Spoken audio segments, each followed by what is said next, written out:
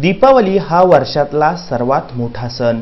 प्रकाशाचा हा उत्सव सर्वत्र उत्साहात साजरा होत असताना दऱ्याखोऱ्यात आदिवासी वाडेवस्त्यांवर राहणारा समाज मात्र अजूनही अंधारातच चाचपडत आहे.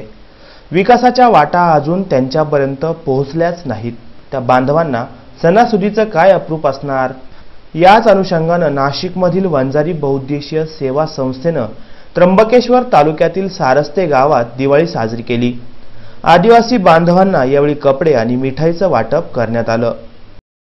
आज आपल्या सारस्ते गावाच्या आदिवासी पाड्यामध्ये कातकरी पाड्यामध्ये आम्ही आमच्या नाशिकच्या वंजारी पोलिसी सेवा संस्थेमार्फत कपडे आणि फळ वापराच्या कार्यक्रमात आहोत. आमची वंजारी पोलिसी सेवा सेवा संस्था ही सामाजिक कार्य करते आणि तिच्या माध्यमातून अनेक सामाजिक उपक्रम राबवले जातात.